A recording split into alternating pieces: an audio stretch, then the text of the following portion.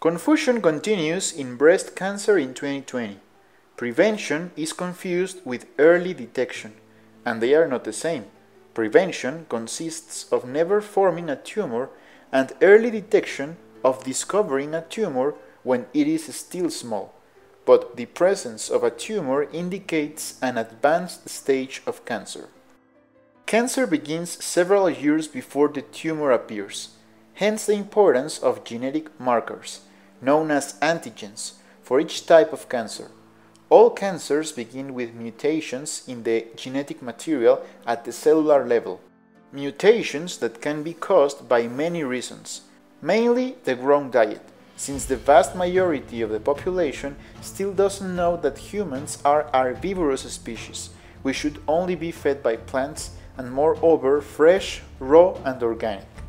The human species is the only one on the planet that transformed its natural, biological, herbivorous diet into a cultural diet as a consequence of having discovered agriculture, livestock, but above all, for having discovered the use of fire to transform foods that did not correspond to it, such as meat based foods, which cannot be consumed raw because it doesn't have the tools to do so. We will never see a human opening the belly of a live sheep with human teeth to eat the entrails or any part of the recently dead animal. He only consumes it if it is cooked, as for example in Texcoco barbecue, yes, or in any other stew. The cultural invention of cattle raising has been undergoing several changes, especially with the growth of the population, mainly in the big cities so food technologists are discovering new hormonal substances with which they can reduce the time to produce meat ready to be distributed in supermarkets or dairy products or eggs. For example, a cow requires 5 years to grow in the field, but due to the urgency of the slaughterhouses to supply it, several hormones are administered, the best known of which is clenbuterol, all of them prohibited but still used to reduce from 5 years to one and a half years the time to reach the slaughterhouses. Chickens take 10 to 12 months to grow in the field, but on the farm they reach adult size in only a month and a half, thanks to the use of several hormones, and cow's milk is produced naturally only at a rate of about 15 liters per cow per day, and only if she has had a calf but on farms they do not have a calf and instead of giving 15 liters, they give 60 liters, sometimes 80, and in exceptional cases, as is the case of some farms in Nuevo León, there are cows that give up to 100 liters of milk in one day, 50 liters in the morning and 50 liters in the afternoon. Of course, based on a large amount of hormones, which add up in 2020 to more than 160 hormonal substances.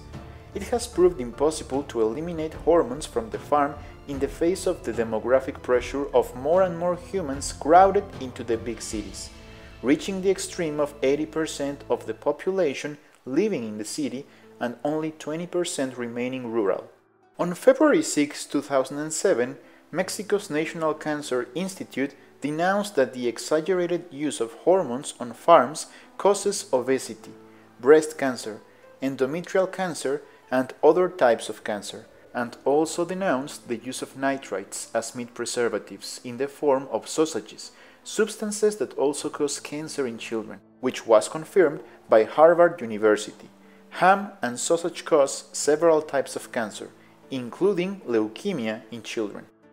In order to dispel doubts as to whether the human species can and should consume meat, the World Health Organization on October 15, 2015, made known in all newspapers on planet Earth, as well as in all radio and television newscasts, that a group of 22 experts from 10 countries reviewed more than 800 scientific investigations carried out in the last 30 years, reaching the following conclusions. Eating meat is a cause of cancer in humans and more if it is in the form of sausages, mainly bowel cancer.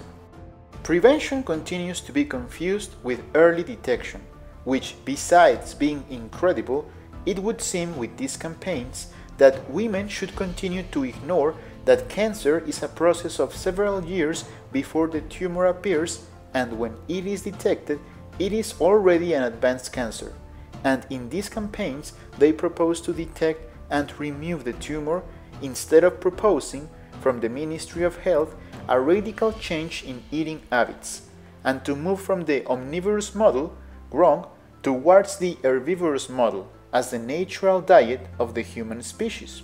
The radiations used in the new computerized mastography devices are usually more than a thousand times more intense than X-ray plates, radiations that can trigger cancerous processes, as reported by the National Cancer Institute of the United States, which represent a risk of 22% due to the technology, which still doesn't detect tumors smaller than 2 millimeters. The only way to prevent all types of cancer, including breast cancer, which is commemorated every October 19 of each year, is through a radical change in diet. A raw vegetarian diet based only on fresh, raw, and organic plants. In other words, it is increasingly urgent to move from the omnivorous cultural model to the new herbivorous natural model for the human species.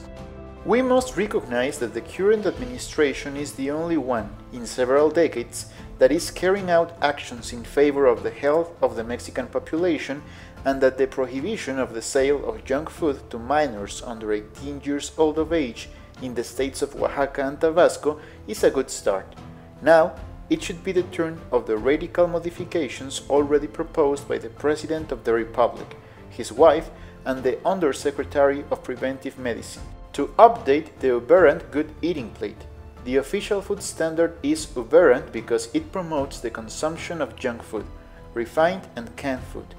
in addition to fatty animal foods that are the main cause of heart attacks, cancer, and diabetes. And junk food has our country in the first places in the world in terms of obesity in children and adults.